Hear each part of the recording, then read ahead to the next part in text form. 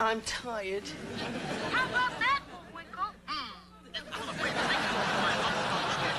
Bullwinkle, you mean... Magic of videotape. Better late than never.